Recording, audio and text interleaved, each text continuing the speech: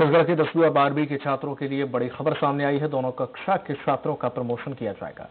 अब बच्चे हुए विषयों की परीक्षा नहीं होगी। पिछले आंतरिक मूल्यांकन नंबर के आधार पर नंबर दिया जाएगा। इसकी पुष्टि शिक्षा मंत्री प्रेम साय सिंह टेकाम ने की है।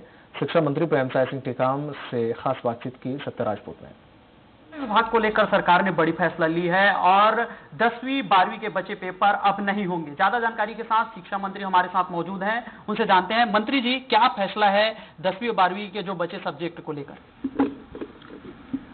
आज, कैबिनेट में यह तय हुआ कि जो बच्चे दसवीं और बारहवीं की परीक्षा को जो स्थगित किया गया था, उनको ये कोरोना वायरस जो एक महामारी के रूप में है, इसको ध्यान में रखते हुए अब दसवीं और बारहवीं की परीक्षाएँ नहीं होंगी।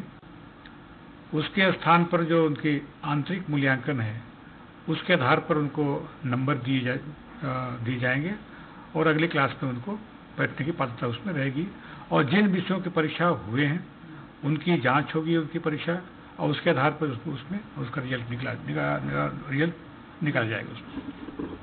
अधिकतर बच्चे ये फिराक में रहते हैं कि वो मूल्यांकन तो नहीं दिए हैं लेकिन आगे हम छमाही के बाद पढ़ाई करेंगे वार्षिक पेपर देंगे। अगर वो पेपर नहीं दिए हैं मूल्यांकन पेपर तो उनका क्या क्या उनके लिए प्रावधान है?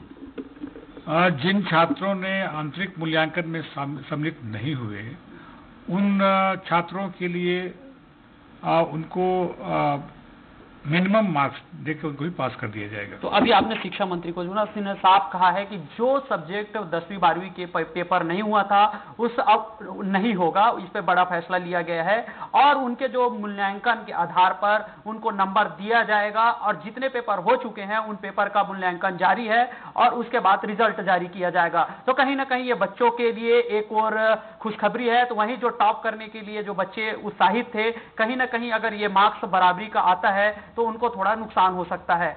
कैमरा, कैमरामैन चोलाराम के साथ सत्य राजपूत स्वराज एक्सप्रेस, रायपुर।